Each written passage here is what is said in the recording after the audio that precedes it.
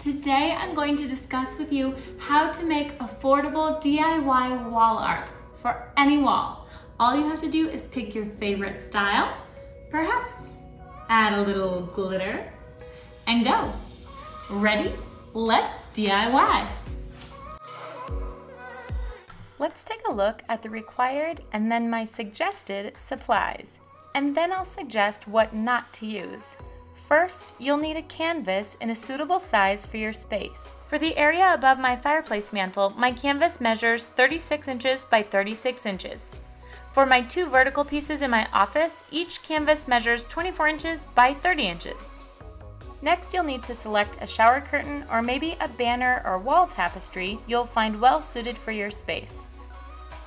I've linked two shower curtains I ordered, this one and a similar one for an upcoming project. While ordering your shower curtain, you may consider ordering some quartz, turquoise, and other stones to add texture to your art. While I have tiny rose quartz and amethyst chips I could have used, I opted for turquoise chips and pink Himalayan sea salt. Each of these are on hand for when I make essential oils gifts. Lastly, you'll need sharp scissors, a staple gun, and staples. I used kitchen shears because they matched my shower curtain. I'm extra like that. But I recommend opting for fabric scissors, especially if you want to keep your leftover fabric scraps. This is Mom's video, and I love Mom's channel. In a linked video, I show you how I upcycled my scraps from this project. The project steps are simple.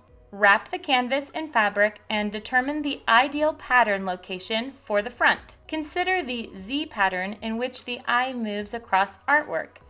Take a gander at any wrinkles and decide if you'd like to steam or iron the fabric before beginning.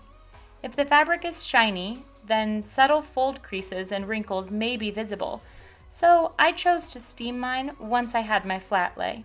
After ensuring there is enough overhang to staple it in the back, cut the fabric to size. You may want to leave an extra inch of fabric for safe measure.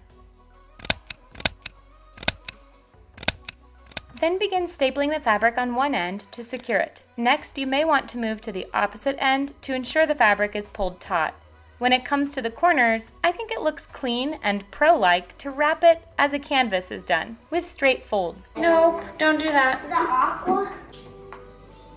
But do what works best. Hospital corners, mitered corners, wrapped like a present, etc. I can't forget to mention hanging it. That's the best part. Well, at least getting to see your finished product on the wall. When I can, I like to outsource the actual hanging part.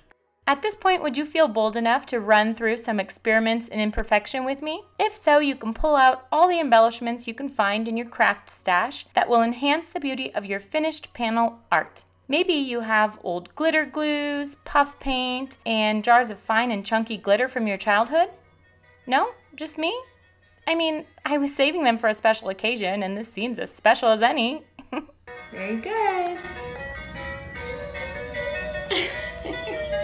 What's nice about this project is that if you tire of your art, you can deconstruct it by simply removing the fabric and you'll have a blank canvas for your next masterpiece. Let this project stretch your mind, pun intended, for other ways to incorporate fave fabrics you're not ready to part with. I made use of a bed quilt that was coming unstitched by stitching up the split areas and then wrapping it around a wooden frame my husband built for the job. Tell us in the comments if you've ever done a fabric wrapped project. That's all for these experiments in imperfection. Won't you join us next time? Until then, toodaloo! Let the salt fall where it may.